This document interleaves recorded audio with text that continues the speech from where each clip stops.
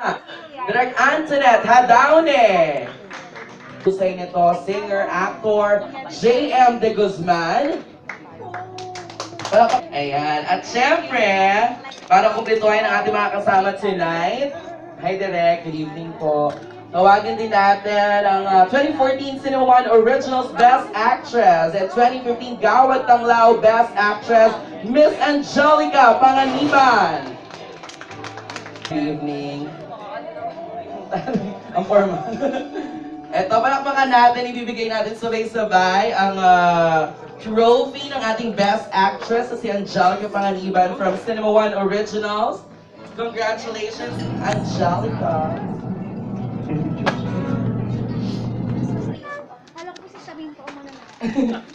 Congratulations! Kaya, uy, palakpakan naman natin. Dito tayo.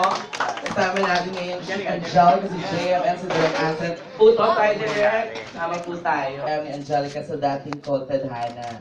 Let's start with uh, JM. Magandang gabi po. Ay, kuya walang mic si JM. Ayan na. Hello. Hello, magandang gabi po. Ako po si JM De Guzman. Ah, ah, ang character po na ipiplay ko sa movie is yung character ni Anthony. Isa siyang painter na na may na-meet na isang magandang babae na may pinagdadaanan. So, ayun, nag, um, dun, nag-start yung story ng characters ng dalawa. Thank you. Ayun. Of course, Miss Angelica Panganiban. Hi, good evening po. Um, ako po dito sa pelikula si Maze. Ako naman po yung tinulungan ni JM na makamove on. Dahil si Maze po ay may pagka-slow pagdating po sa moving on. So, ayun po. Parang paulit-ulit pagdating sa love. Okay. At syempre, thank you. At Direk Antoinette Hadaone naman, of course, pwede mo ba kaming kwentuhan kung ano bang kaabang-abang sa pelikulang ito?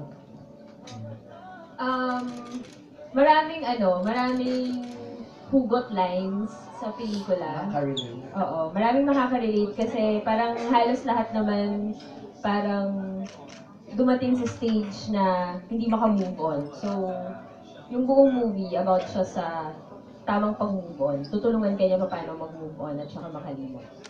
Nanonood nga ako. Charot. Ayan, syempre ngayon naman, tawagin natin Manay Ethel para samahan ako sa ating uh, question. na-experience na magkaroon ng broken heart. Kung sa bagay, kay ano, kay alam na alam na namin tungkol kay JM. Um, so, pero let's start with JM. Happy birthday, JF. Para sa mga hindi nakakalam din, pakikwento. Makikwento, Ano JM. ba yun? Ikaw, kasi ikaw ang lalaki. Kung may na-experience po ko Uh, have you, have you, ano, have experienced nursing a broken heart? And how were you able to overcome it? Mm, Actually, ah, lahat po ng relationships na napasukan ko ako yung ano eh, heartbroken. Kawawa ka na. Ilang beses? Mga apat po. Ay, ang dami na. Ayun. Ayun.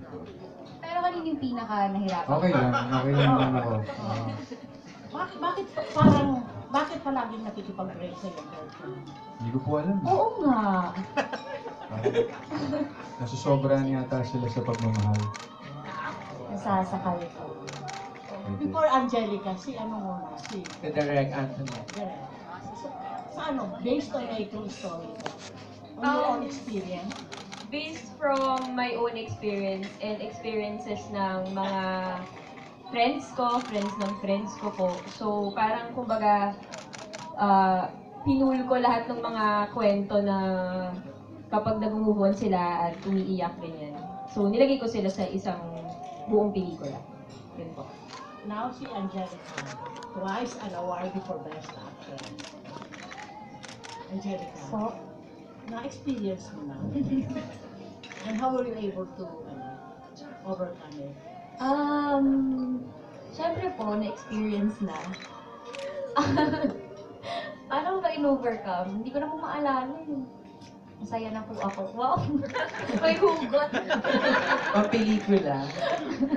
um, paano ba na-overcome? Sa mga kaibigan ko, sa pamilya. Yun. Tsaka syempre, um, kumbaga, pinag-aralan niyo kung ano yung mga mistakes na Please expound nangyari sa ano, sa, sa sa, kung, sa failed relationships na nagkaroon ka, di ba? Para hindi na maulit. yun. Ah, ngayon na ito si Mario.